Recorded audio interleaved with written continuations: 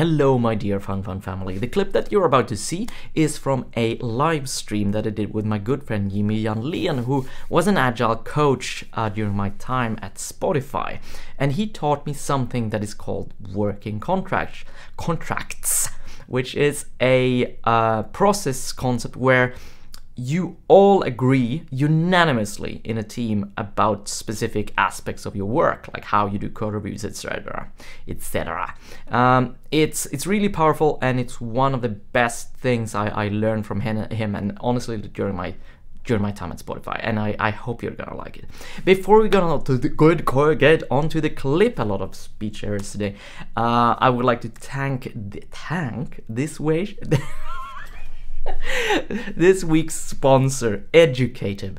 Uh, uh, you can find uh, find them in this this link and in the episode description. Uh, they are an amazing um, course software as a service kind of thing where you uh, learn uh, different technological te- technological concepts like react hooks or uh, docker or many, many, many things. It's text based and it's highly interactive, uh, and it's a great way of learning things. And we're really proud to have them as a sponsor. So please do check them out after the clip. Um, with all that said, onto the clip. Working contracts, Jimmy. Bam. Uh, and then you end up in consensus hell, where everyone feels they need to pitch in on every discussion, and no one feels it up to them to call the shots, or just mayhem. And I've seen this. Um, that's a common trap for startups, by the way when you're small and one big team and then it's really big but still working and then all of a sudden you're 100 people. And then i've actually used agile a few times to add bureaucracy and add structure. It sounds weird.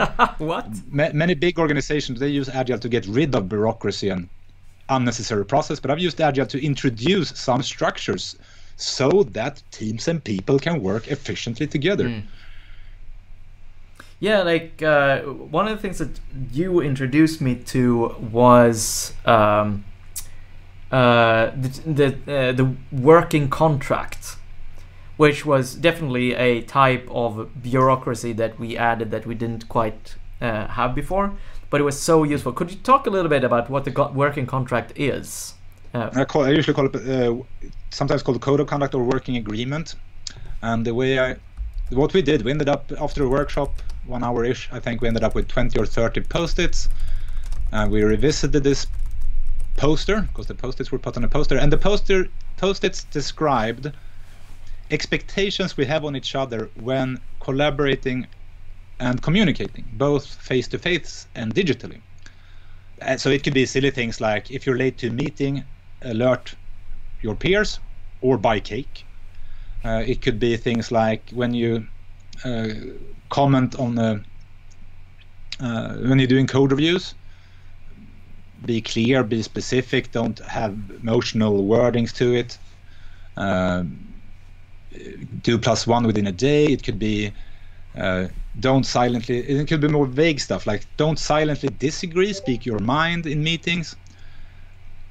Uh, what else? Uh, everyone should help out testing pretty general statements but still it's a clear intent and we did this collaboratively, and I and I do this with all teams. Uh, I think it's such a powerful tool. And then once in a while, maybe once a month or every quarter, we revisits this uh, set of expectations, and then we self-evaluate ourselves. So are we are we good at honoring these bullets? Mm. And then we recolor them uh, orange, green, or red. Green means yeah, we're this is good. We're we're honoring this.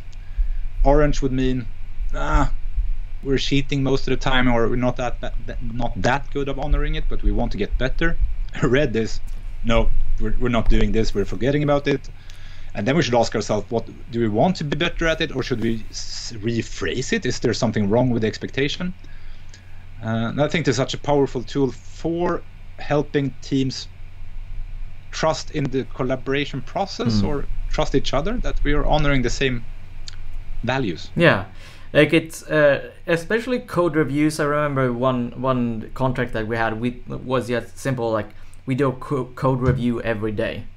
Uh, because in earlier teams i always found that i always harbored a little bit of either resentment over others that weren't quite doing the same amount of code review as i did or a latent guilt that I was not doing enough code review. Uh, and just having like this like rather loose uh, thing that yeah you just do code, some code review every day. Uh, that was enough for us to like okay this is what we do, and the expectations were so calming for me. Mm.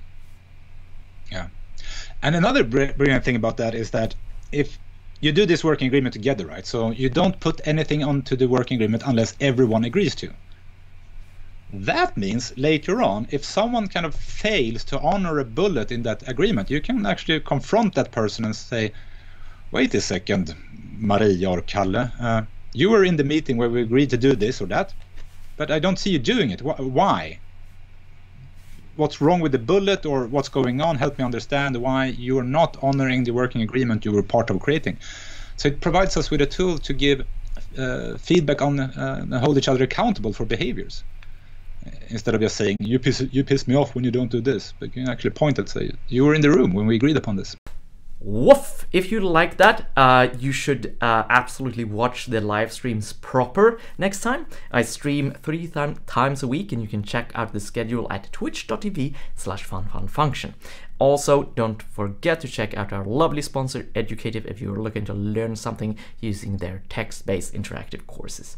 Uh, Alright, uh, that's it for me. Until next time I see you, stay curious.